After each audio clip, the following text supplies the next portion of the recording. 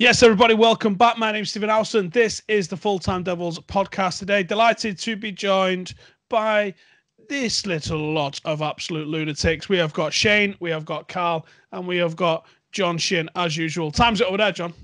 Uh, it's actually 10 o'clock for once. I got to wake up, got got a good sleep in. I don't have to wake up at 5 in the morning to be talking about Man United, so we good. Sure, but you don't love it. uh, right, so we've got a few topics to discuss today. One of them uh, I didn't even know of until we started this call, and then had to do a little bit of googling, uh, which is Dalot's on his way out. Uh, we've got Upamecano has been linked. Uh, Chelsea are in for Coutinho supposedly. Weird one. Uh, and does that have an impact on Sancho? We're going to be talking Pogba because it's the rules. Um, all sorts of stuff, as well as a couple of on this days because there's some belting ones. Where should we start, lads? Well, go with the low. The low. All right. So the news is, out of everyone's favourite reputable fucking shit rag, uh, the Sun, that uh, Dalot could be on his way. My initial take on this is they've seen that he's not played this season. No one's going to be like, that's bollocks um, and they've just found an open net and, and they've stuck it away, and no one's going to pull them up on it. It's it's it's something that you could see happening. So it it just feels like proper easy bullshit bingo. What do you reckon? Yeah, no, it's one of them, is it? It's a shame though, Dalot, because I like Dalot. I think he's quality, but it's it's one of them where, like you said, it's a free hit for anyone to when there's no news about. Uh, and unfortunately, Dalot is you know a Mourinho signing and we don't really suit his game anymore. Where with, with Mourinho, we said chuck balls into the box, didn't we? And Dalot's a really good cross for the football. So when we don't do that anymore, he's sort of surplus to requirements because he doesn't really do the job that we need him to do. But hopefully he stays, and hopefully it is a bullshit story. But because I like him, me, I do like him. I think he's a good player. Do you think he's he's a good backup to what we've got with Wan-Bissaka? I, th- I, think he is. I think we need him to challenge to challenge Wan-Bissaka anyway. You don't want to get into the rut like a Luke Shaw rut where he got too comfortable in his position and, and come right off the boils. I think that's what happened to Luke Shaw. He was class when he came from Southampton and class for up until his leg break. And that's not an excuse, but then no one's ever really challenged him for his spot. So until obviously Brandon Williams come across and then uh, obviously took it for a few weeks off him. So I don't want Wan-Bissaka to fall into that rut. So it, it, there's, there's loads of pros to keeping all over the team. Shane, what? Um, with Dalot, I, I, I, do agree with Karl. I do like him offensively. Defensively, I, he's, he's kind of been found out. I like him going forward a lot because he's, again, echoing what Karl said, he's, he's, he's a great cross of the ball. But um, I've kind of been campaigning just to see, just to see if we could play him at the right wing back spot a bit more and sort of usher in Wan-Bissaka as a right-sided centre back uh, maybe with Lindelof and, and Maguire, just just to see how it goes. Because I know we tried Luke Shaw on the other side, just because I just no one gets past Wan-Bissaka, so just see how it goes. And defensively, he's brilliant. Going forward is not so great. Um, and and as, as you said, as a, as an option off the bench to challenge Wan-Bissaka, but then you've got Ethan Laird, who's I I think as well will be pushing. I really do. So um, to, to, for a first team place sooner rather than late later. So um, yeah, it's, it'd be a shame if we did get rid of him, but like you said, Steve, you, you could see it happening very easily. John, I think Shane touched on a good point there, where he was talking about um, the, the option of playing three at the back. It seems like Ole does favour that formation in the bigger games. Would it help us be tactically fluid if we had the option where we can go right when when we go to three at the back, Dalot, this is your time to shine? For sure, and um, having somebody like Dalot gives us that option. You know, if we're gonna if we're gonna keep ourselves reserved to having one sort of starting quality capable uh, defender or right-sided defender, if you will, and somebody like uh, Aaron Wan-Bissaka, I think it just doesn't make sense for Ole Gunnar Solskjaer to keep himself uh, thinned out in terms of options like that. And just to add what Shane and Karl was saying, you know, uh, Dalot is still yeah, he's not sort of risen through the ranks and already like locked in the right back position as much as uh, Aaron Wan-Bissaka did. But Aaron Wan-Bissaka is one of the best defenders out there right now. I mean, he he defensively he's so solid. You know, you you cannot get past him. Um, that being said, that that doesn't just necessarily mean that you write off Dalot and sell him. It just doesn't make sense for a club to operate in that fashion. You know, having him as a backup, having him to provide competition for somebody like Aaron Wan-Bissaka. You know, competition isn't uh isn't necessarily um uh, healthy in, in in certain circumstances, but I think nine times out of ten for me, I think competition is always necessary in a squad to maintain that level, healthy level of balance and quality. And uh, Aaron Wan-Bissaka needs that. You know, Karl made a huge good point about that whole Luke Shaw scenario on the left side. You know, we want to make sure we have competition. We want to make sure that our squad is in tip top tip top shape with respect to options. So, just doesn't make sense for us to get rid of him right now. I think a decently stacked squad should probably have uh, 30 players in it in reality uh, to cover you across all competitions. So obviously, you've got your first 11. Your first 11 for me should be when I'm fit, I play. Uh, and that you know the, the type of player that is. Harry Maguire, is he getting rotated in and out? No, he's not. Is uh, Wan-Bissaka getting rotated in and out? No, he's not. Is Bruno going to be rotated in and out? Absolutely not. Everybody else, there's a bit of a question mark. Even Rashford, you know, depending on the tactical circumstance, Rashford might get rotated in or out. Uh, Martial could get rotated in or out uh, you, for each other, literally. Um, there's no one outside of those few. I don't think you can probably make a case for Pogba, um, which would be valid. Uh, but outside of those, there's not really many players that you could say um, when I'm fit, I'm starting, and, and that's that. Even Luke Shaw, probably the number one choice, but not absolutely, definitely the number one choice. And I think you need your 10 outfield players need to be if I'm fit, I start. Below that, you then have your rotational options. Probably people that are a bit more fluid in, in the positions that they can play, maybe fill two roles. And then beyond that, you have your fringe players. So your squad players should be the likes of Matic, McTominay, um, probably Williams, people like that. Maybe maybe Williams even covers under the fringe. Uh, Ighalo, you know, people that maybe Dan James, people that are going to come in uh, and you be confident in them doing a job. And then you want your fringe players that are going to feature up to five games a year. And that's what packs out a, a squad. Uh, and I think United over the last few years, less so now, but over the last few years, we've been a, a very squad focused squad and not a very first choice focused squad. Um, like if I said to you guys, totally blind, pick the Liverpool team for next weekend if there was a game pick the City team for next weekend, you're probably going to get what nine, ten out of ten. Mm. With United, what are, are you going to get nine or ten out of ten? It might be more like seven. So I think that's the you have to have a squad which is a, a clear hierarchy of who there is. You know, when Roy Keane was fit, was there any doubt that Roy Keane was playing? And if we don't have players of that magnitude, well, we should be aiming to get to having players of that magnitude. Now, obviously, that's well easier said than done by some knobhead on a YouTube channel, but ultimately, that's where you'd like the club to start aiming towards being. Um, Dalot, he definitely fits in the rotational option for me. Um, unfortunately for Dalot, this is a symptom of when you sign a player for a, a particular manager and that manager's gone five, six months later that player can generally then just be deemed surplus to requirements. You know, if Dalot is heavily seen as a Mourinho player and we don't play that Mourinho style, you know, it was Dalot um, to be putting balls in towards Lukaku and for Fellaini, and neither of them play for Manchester United anymore. And we have strikers that aren't the greatest in the air, don't really lead the line in the same sort of way. What are we doing with him? Um, I think it'd be nice to have someone that has got a different style of play in him. Um, but if they can switch him up and, and as Shane mentioned, give Ethan Laird the opportunity because that's a five star potential kid that we've got on our hands right there. Um, and he's he's certainly a much more accomplished defender than what you've got in um, in Dalot. And going forward, honestly, I don't think there's much in it. And people will be like, oh, only because you've seen what Dalot can do. I think if you'd actually really sort of seen what uh, Ethan could do, you know, Ethan scored 22 goals from left back um, in his under 16 year, and he would have been player of the year, but there was some kid called Mason Greenwood who was promoted halfway through the year who overtook him. I don't know what happened to him. Um, probably fell out of the game now.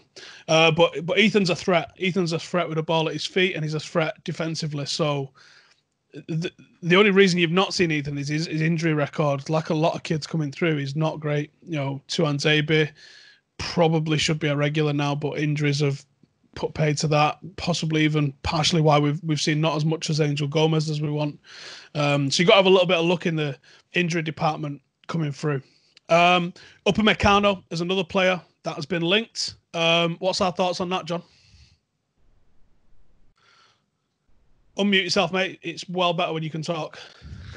Sorry about that. My I have a mechanical keyboard. I, it sounds like I'm typing in like some like 1800 computer. Uh, I think Upamecano would be a fantastic contrib- uh, addition to Manchester United. Um, financially speaking, you know, Manchester United have been one of the most capable yet unstable organizations in the world. I mean, we we talk about the financial strengths, the, the commercial powerhouse, and yet always that something that coincides with that conversation is the debt and the um, the amount the lack of financial capability because of the debt that we carry and we continue to amass because of our wonderful ownership and whatnot. But um, the reason why I mentioned the finances is because uh, we want to be able to make sure that we sign a, a, a big, strong addition, like a, a, a marquee signing in somebody like Jadon Sancho. And we know that's going to take a hefty amount of money to lock him in, you know, regardless of the fact that he wants to join Manchester United, regardless of the fact that he has good relationship with the players. It's going to be difficult to it's not it's going to be difficult to bring him on the cheap, obviously, uh, given his quality and the and the situation with uh, Dortmund and whatnot. But uh, the reason why I mentioned that is because uh, that needs to be priority. Jadon Sancho needs to be priority. However, for me, perspective, in my perspective, anything else besides Jadon Sancho, uh, the only person that gets an exception to that number two role is Upamecano. I think he also needs to take huge. I think Manchester United also needs to take huge priority. He's a fantastic ball playing uh, center uh, center back great defender, a huge, great eye uh, for a ball forward. I think last year, well, up until the canceling of the um, the uh, Champions League and all that jazz, uh, I think I believe. Why? What's happened?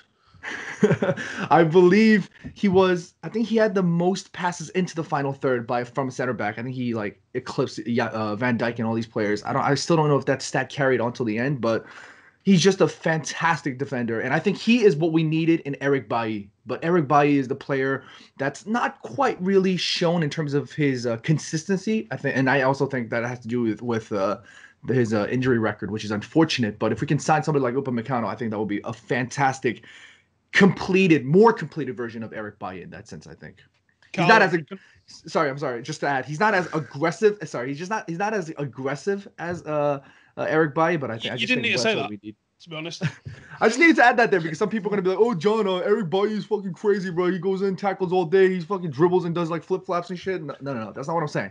I'm saying he'll be a little bit more of a completed version of Eric Bailly, which is what we need. You mean you mean not as mental? Sure. Oh, that's basically yeah. Thank you. That was there. You go. go on, Karl. What you saying? To be fair, but I don't really know much about him. I'm not going to sit here and, and, and talk shit because I, I don't I, I, don't watch Leipzig. I, I, you know I don't know much about him at all. I seen you tweet saying he was on trial when he at United a few years. Yeah, back. I don't know how many people know about that. I don't know how like inside that was, but I know Marcus played with him or against him. I think it was with him um, in a in a behind closed doors game. I think they were 15, the pair of them um, and, and apparently it was class. Um, so that happens on a, a, far more frequent basis. Like you know, Gabby Martinelli came and didn't fancy him. You know, Upamecano came and we didn't fancy him. People will see that as a negative um, of United's recruitment, but we don't know that Upamecano wouldn't have had the same trajectory Ro-Shaun Williams had if he came to United. Sometimes players have to go elsewhere to, to be able to reach their potential, and that it, it's difficult to reach your potential at a club like United, which is why the likes of Greenwood and, and Marcus doing what they're doing is mind blowing. And Brandon, it's mind blowing that they're able, with the pressure that's on at United, to come through and deliver it's far easier to come through at Burnley or Southampton or, or Leipzig or Munchen Gladbach or somewhere like that where there's less pressure on what's going to happen and and you can come in and you can maybe take it a little easier. You have one bad game at United and there's fucking death threats on Twitter for you. So the the pressure is unparalleled coming through anywhere, and I think sometimes that United you, they can't sign everybody at um, under 15, under 16 level. They have to make a squad and they have to make a squad that they think is going to serve them the best. And once they get um, their squad, they try and bring through one player out of that squad. Bringing through two players in a squad is unheard of.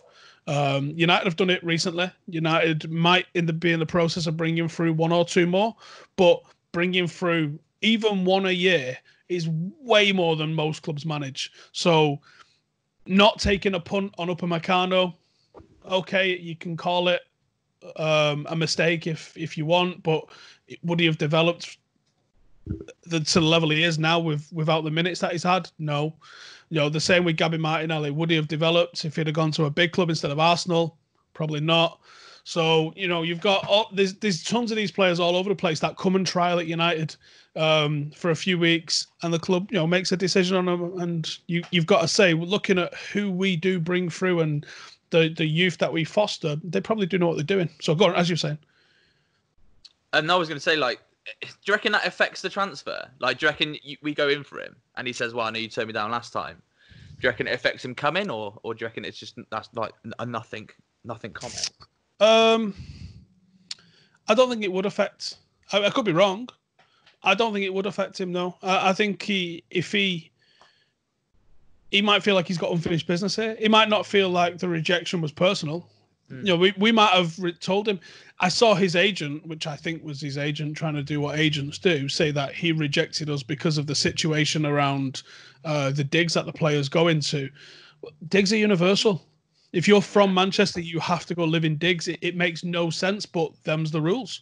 You know, Marcus lived in digs all the way through high school from like 11, 12 years old. He's one of the youngest players to go into digs. Um, you know, the likes of Dio McGee, Brandon Williams, local Manchester lads live in digs. All the Irish lads, the Welsh lads, they live in. Diggs. Everybody in the academy lives in digs. There's no exceptions.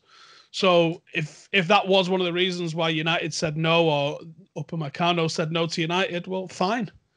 But I, I don't know if it'll hold a permanent grudge. I guess we'll find out if he if he does or doesn't sign for us. Hmm. You reckon do, do we do we need to prioritize a centre half though? In realistically, when we could we could get a, like a DM in, I don't know. I like I don't see us needing a centre half. No, I think it's probably our best position. Do you know what I mean? Yeah, we're, we're quite strong at centre half at the minute with like Bailly, Maguire, Lindelof, and all that. So I think we could probably strengthen and spend the money elsewhere. Like, you know, like a Jadon Sancho and a central midfielder would probably benefit us more than an Upamecano. But I, I, I, don't know. It's it's it's just, it's just a bit of a we need strength everywhere. Like strength and depth's key in it to, to winning titles and trophies. So like we could do with him, but I don't uh, right now, right this minute, to to press on from where we left off. I do. I, I don't see a centre half being one of the ones we need to focus on.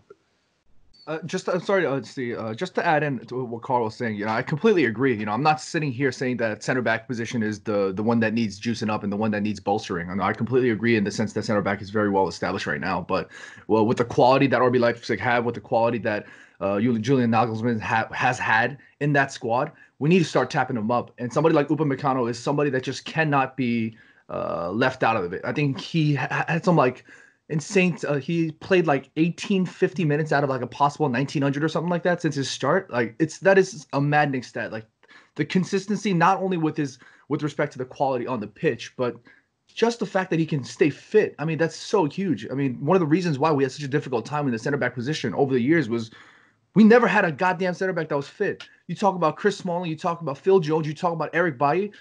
That's that's the limp that's the limp squad trio right there. They just mm. break their they just tear something up every other day, you know, like and now that we finally have some sort of consistency, it would be nice to add to that just to really like perfect it. And you know, obviously with coronavirus and all that situation, it's gonna like I mentioned, it's gonna be a bit more financially difficult for us to do that. We can't dip into our transfer uh, uh, bank for Jadon Sancho and somebody like Koulibaly. I think that's just an insane figure. But if we can get somebody of quality and a bargain like Upamecano, I, I think we have to go for it. It's just too much of a bargain to turn down in my in my opinion.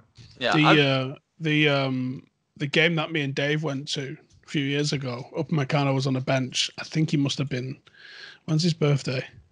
He is I think 20... he was probably 18 at the time. He was on the bench. Um, Werner played, Keita played, Sabitzer played, Poulsen played. So it's a team you probably recognise quite a lot of. Um, yeah. But yeah, Upamecano was on the bench. Shane, what are you thinking? Get him? No. Koulibaly, right? Put it put it this way: if you say Koulibaly this summer, most of us would say yeah. So in terms of Upamecano, I'll look at it as okay, potentially. In terms of how good he is now, say another five years time, is he going to be on that level? So if you're going to say yes to that question, can we pass on him? That's that's that's that's one of the things and I've I've seen I've watched him quite closely because I'm thinking a centre back starting in in the German league at 19 years of age I'm you know that's that's not a done thing really. So athletically he's got it all but I think uh, to John's point um, technically he's he is very very good and in modern day football that's that's that's massive that's huge playing out from the back. So um, I always put it in terms of that. I I try to make a comparison. Like we've got Koulibaly, who's at the other end of his career, so to speak, not not retiring, like, but he's in the peak of his powers. So if we're saying we we can afford to turn down uh, Koulibaly, can we? I, I, I don't I, I don't personally think we can, but to your point, Steve, as well, it's that's probably our strongest position. Mm. Um, but at the same time, I'd like to give another season because Bailly, when he plays, and to me, when you've seen Lindelof and Maguire play as a partnership, it's it's been decent. But when the, the, the couple of occasions you've seen Bailly with Maguire, I think it's been close to very good, and and and I, I feel that they could develop a partnership and they complement each other a lot more. I feel than Lindelof and Maguire do as a pairing. And then if you put in setting them up in the big games as a three at the back, as I touched on before, with having possibly um, Wan-Bissaka as part of that that three somehow. I, I, I, think defensively we, we could be very, very strong and for a long time as well. So for me, um, I'd like to give not just Bailly the opportunity, but Tuanzebe as well, because he's been struggling with injuries as well. But to John's point again, we've been struggling with injuries with our defenders, centre backs particularly. They've got to play every single game really, uh, plus all the big games uh, if they're if they're available, because it's a partnership nine times mm. out of ten. So can can we afford to miss out on a potential world class centre back? I think we need to give an opportunity another season to Bailly and Tuanzebe to see if they can take Lindelof's spot. Maguire's a captain now, so he's going to be starting game in, game out. So for me, give give Bailly and Tuanzebe an extra season. They're both come back from injury. I'd like if we're not going to give Tuanzebe an opportunity in the starting first first team, um, then I'd say loan him out elsewhere because ultimately he's in he's in his years, his adolescent years in terms of footballing, where he's going to learn a ton. So look at Upamecano, he's starting in in in in, in the German league. So for me, Tuanzebe, if you're not going to start Man United, loan him out, but give Bailly an extra season, see if you can take Lindelof's place. Really. Yeah, I think the injury things is a nightmare for for both Bailly and Tuanzebe. Um, because I think both of them would have the opportunity at, at staking a claim at being a starting centre half somewhere, um, possibly even at United. And um, and Bailly when he plays, I, I, think he's great. I think he's got so much character about him um, that I think it, he's just one of those infectious guys. Um, I, that I think he's liable to do something crazy. I don't necessarily think that's a bad thing. I think that's a good thing when you centre halves, you don't know what they're going to do. That's just used to you like that in our centre halves. it might be. It might be. I am a fan of chaos, and and Bay brings a chaos. Rojo. You know. What about Rojo? well, do you know what? Bay and Rojo together, we was like, oh my god, oh this my is bananas. Yeah, yeah, yeah. But they, they were good together. Yeah, they were. They, they were good together. So um, you know, I, I, think the distribution side of Bay needs improvement. I think Tuanzebe's got that over him. I think aerially, Tuan Zabi needs improvement. I think Bay's got that over him. I don't think either of them are the perfect centre half. Um, but there's just this there's a character about the pair of them where you go, fucking hell. Like if you if you didn't have Maguire and you had them two, you wouldn't be upset. You'd be like, okay, are they fit? Yeah, okay, sound. It's just a case of getting them fit. Um, and if we can get them fit, I think we're in for a good time. Um, Chelsea are linked with Coutinho. That clearly impacts on any potential Sancho move, you would assume. Um, because I can't imagine a world where Chelsea are able to sign both Coutinho and Sancho on top of signing Ziyech and keep everybody happy. As well as, um, I saw he was in for a striker the other day. Who was the in for? he was in for a fairly big name striker on top of all this lot as well. And I was like, oh shit, Chelsea are trying to do bits this season. Um, Karl, what do you think? Sancho to United almost confirmed if uh, Chelsea go for someone like Coutinho. Yeah, no, it's going to. and Like you said, they're going to struggle to sign all of them and keep them all happy. Um, I mean, I remember a few months back, Coutinho got linked to us, didn't he? Um, and that was that's not a, an ideal. I'd rather him go somewhere else and us take Sancho every day of the week, like because Sancho's class, and he he just fits he fits into it, it, Sancho comes in and he fits straight into what we got going on here anyway. Like young British core, get some with Rashford, obviously get some with all the English boys. um, and he's just absolutely class. And we get one over on City as well. So it's it's a win-win in it. So I'm hoping Coutinho goes there, mate. He's not. He's had a bit of a shit time in Coutinho since he left Liverpool. Obviously, he went to Barca for like mega fucking money. Was it 140 million quid? Something like yeah. Yeah, flopped there pretty much. Didn't get the game. One fancied there. Went to Bayern. Did all right there, but then they didn't want to buy him either. So he's obviously going to go somewhere. Um, and if he goes to Chelsea, mate, then yeah, like you say, happy days for us, isn't it? It's basically now. Well, I wouldn't say it doesn't nail it on, but puts him more towards Manchester than he does London. So yeah, no, happy days, mate. Uh, John Sancho, reckon? Uh, I was on the podcast a few weeks back, and uh, I was I got roasted. I, people were I I don't I don't usually confirm signings, you know what I'm saying, but I I was so strongly believing that Jadon Sancho to Manchester United was just just on. It was on, and I still continue to believe that. I just think it's written in the stars for him to come in, fix the shit out of this number seven curse, get like Karl said, get on with the other boys. I just think it's so perfect for Jadon Sancho to come in and save us from this misery.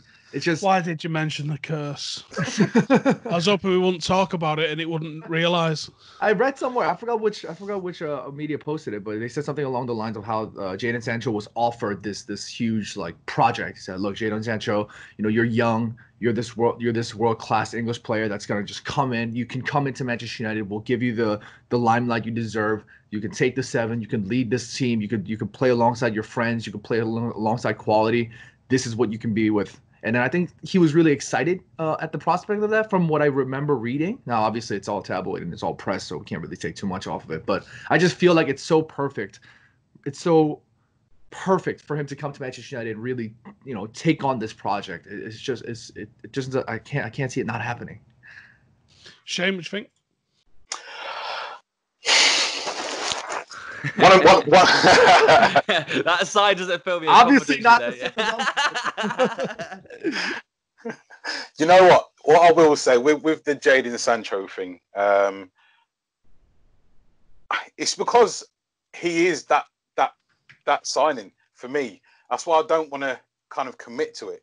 But for me, he's he's that signing that will put us over the edge because I don't think we're that far away. But I'd liken the Jadon Sancho signing to the Bruno Fernandes signing in terms of how it's made me feel just reading everything, um, reading between the lines, if you like. For me, when it was Bruno Fernandes, it was a more of a, a, a case of when and not if, and that's really how I feel about Jadon Sancho. But I just I don't want to get excited about it because if it doesn't happen, then um, yeah, it, it, I just feel he's that signing. So for me, it's a, more of a case of when and not if. All everything's pointing in that direction. Um, he's, he's Rashford, Rashford's mate. Um, gets along with you know num- numerous lads in the team. Uh, oh, I think Shane's gone right in the middle of talking as well. It's paused, so I reckon he's probably got sorry, a call. Sorry, sorry, yeah, I did. Don't know how to get rid of that. But yeah, um, I was just I was just saying. Um, for me, it's a case of when and not if. Put it that way. Yeah, that was that was going to be my thing. Like I was going to say, like it feels a bit like the uh, Bruno Fernandes transfer. Like we need him. We, we're desperate for him. Obviously, we've been desperate for a winger, right winger, for God knows how many years. Uh, a bit, a bit like the Fernandes one. We're desperate for a bit of creativity in there, and he's come in and absolutely lit it up. Do you know what I mean? And Sanchez could be, uh, Sanchez, Sancho could be one of the, you know, one of the final pieces to the puzzle to actually get us in the conversation for a title. Do you know what I mean? So I, I'm desperate, man. I, a bit like you, like when the first when the Fernandes thing first started, I was like, he's coming, got dead excited, and then it didn't happen. I was like, you fucking bastard! And then obviously when he when he did sign, the weeks leading up to signing, just chilled out. So I'm I'm going to take that step now with Sancho and just be like, well, if he comes, happy days. But if he doesn't, we just have to deal with it. So. But yeah, we are desperate, and we're desperate for a class winger, and, and he's he's just got all of the credentials that fits. all the boxes, doesn't he? Yeah, yeah, he does for this team and for what Ole's doing with his, with the squad, mate. He's he's the boy, isn't he? And I, yeah, no, I'm, yeah, I'm just gonna hold off on the shirt printing though, just give it a couple more weeks. I, I think he's is is class. I've said it a few times. Um, he was one of the only players that I saw in academy football um, that I thought was anywhere near a United player. Um, there's there's only been a couple. Um, is it Tommy Doyle? Plays for City as well. It's a young playmaker that they've got. He's fucking outrageously good. Um, and the other one was Jadon Sancho. um, you'd hold your breath when the guy got on the ball because something was happening. Something was about to happen. He was about to roast someone, or he was having a shot, and he played on the left at the time, uh, and would just be constantly trying to cut in, constantly trying to uh, get on the ball and make things happen. And invariably, he did make things happen because, as you've seen, what he's gone on and done in Germany, he's fucking quality. There's no two ways around it. Um, I, I think he's if Gareth Southgate's smart, he sort of pays attention to what's going on at United, and he could potentially evolve that England forward line into being something that revolves around Rashford, Sancho, Greenwood, and, and probably Sterling, Hudson Odoi, Tammy Abraham as a, like a bit of a, a, collection of players because they're fucking quality, a lot of them, um, and they're gonna be around for a long time. I'm not saying discard Harry Kane or anything just yet, um, obviously, but I would say if you want to look for a way that you could play going into the future, start trying to implement um, the attributes of these lads because I think you'll see um, a positive benefit from it. Karl, I think your mic's wigging out. Yeah. No, that goes. Is is it mine? Uh, don't know. Still there. Can you can you hear me? I hear you, yeah, but there's a there's a scratchiness going on somewhere. Oh, it's gone now. Oh no, it's back. Just mute yourself a sec, Shane. Okay. Yeah, it's you, Shane. Yeah. oh, let me unplug this. All right, uh, we carry on anyway. So, uh, that, is that better? Is that better? Yeah, it's yeah, yes, fine. Yeah. Um, right on this days,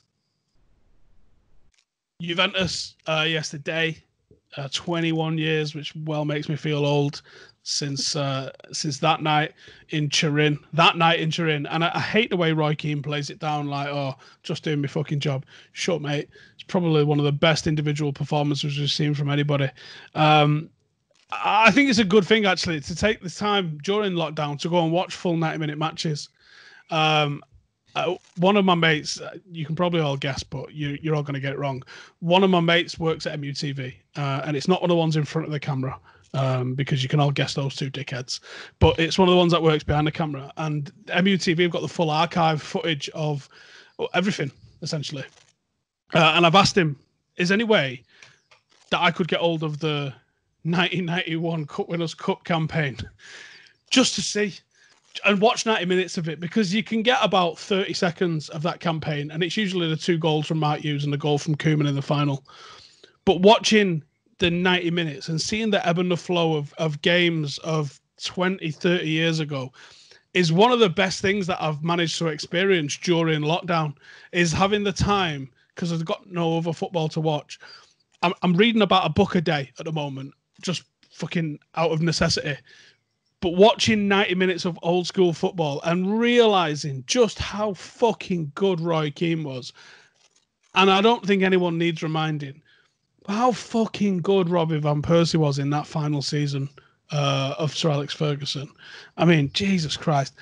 Is there a better way to win a league? And everyone in the comments that's about to say Aguero, we drew the league that day. So let's just talk about when you actually win a league. That was a good way to win a league, that wasn't it? Yeah, mate.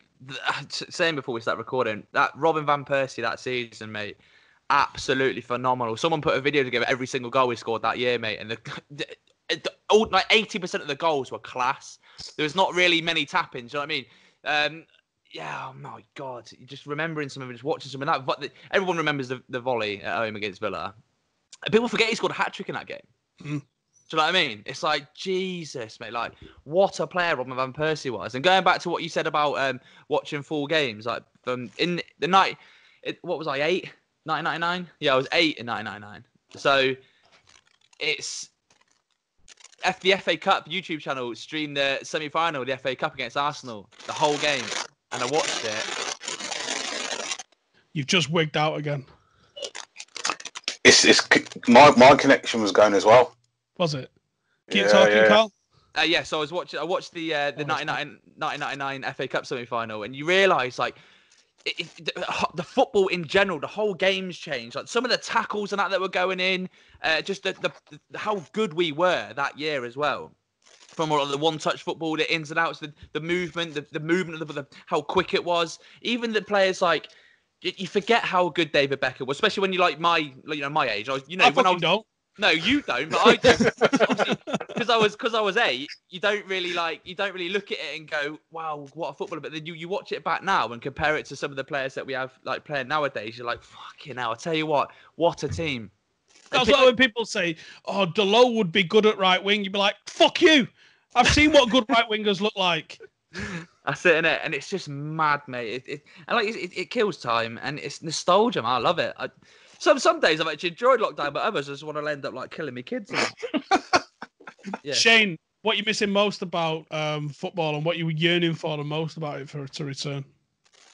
Re- realistically, it's um, it's, it's unknown, unknown. So as you're watching, for example, you could get um, us against Watford or whatever the case may be, or how City were imperious and we were thinking they were going to smash us, or uh, Raheem Sterling going up against Wan-Bissaka. It's like it's the unknown, not knowing what's going to happen in any given game, where the odds are stacked against you, and ultimately, you know, like the two two 0 winner against City, for example.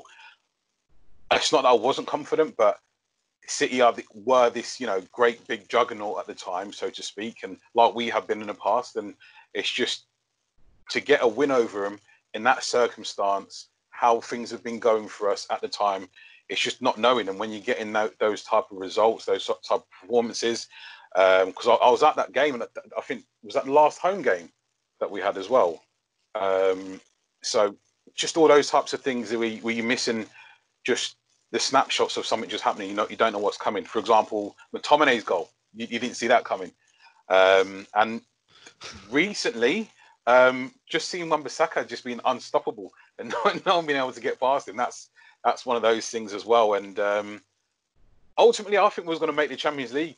I, I do. I think we we're going to make the Champions League, and just not knowing whether or not that's going to happen anymore um, is, is is is a big deal as well. So I know they're saying that things might, you know, I don't know. It's just current circumstances not gonna it's not gonna happen at any any given time. So unfortunately, just just not knowing, mate. John, what you yearning for the most? Just uh, all these like throwback clips on these day clips is just killing me man. I mean like just just the thrill the the excitement uh somebody uh, i know we're kind of diverging off the the whole roy keane roy keane uh, uh robin van persie conversation but you know lots of people messaging me about you know korean players in general and obviously park ji-sung ji-sung park is one of the biggest players that uh, people do reach out to me about and you know they ask me you know, what was one of your most exciting moments? I'll never forget uh, Ji-sung Park's goal against Chelsea in that Champions League um, semifinal. It was Oh man, you got to remember- remember we didn't beat Chelsea in that time. uh, It wasn't like this season where we got Frank Lampard on a lead. Like, exactly, We Getting did not result- beat Chelsea at all. Exactly. Getting a result against Chelsea in that manner with Ji-sung Park scoring a goal like that, getting an assist off Giggsy. I remember I was in the dorms. I was in college. I fucking hated college. I was like miserable. I didn't want to study. I skipped class to watch that game. I sat in the dorms by myself, and when he scored, I screamed so goddamn loud. I punched the table. I was going buck wild. The the resident assistant, the RA, came in, thought somebody was fighting in here. I was just like, nah, I'm just studying. Just getting excited about studying.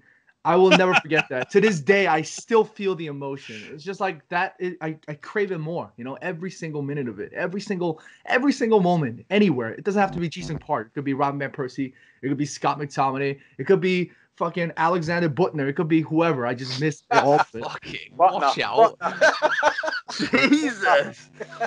Nick Powell. You give me the whole shebang. I'll take it now. I have to go a VAR check on that shit. I. Fucking Alex Butler, man. Oh my days! Right.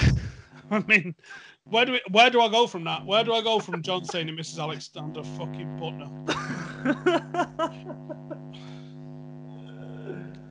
Fucking hell.